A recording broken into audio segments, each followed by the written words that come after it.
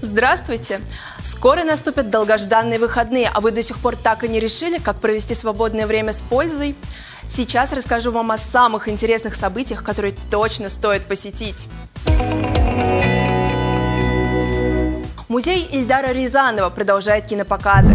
Синоптики обещают улучшение погодных условий к выходным, поэтому ничто не сможет помешать их просмотру под открытым небом в сквере.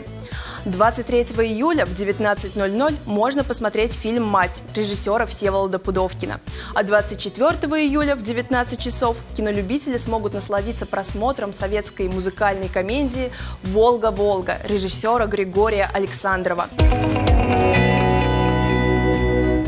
Летом душа все чаще просит музыки, танцев и праздника. Приготовьте самые красивые наряды и хорошее настроение.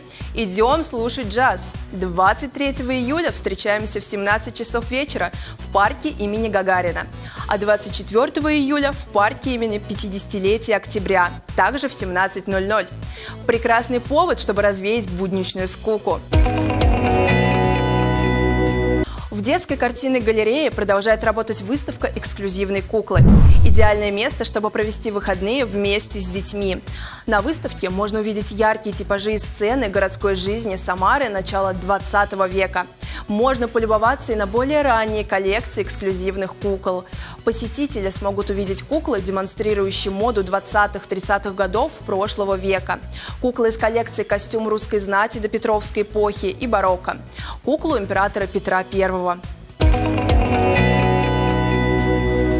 Самарский литературный музей приглашает на экскурсию по новой выставке. Жизненный цикл фотоальбома «Все как у людей».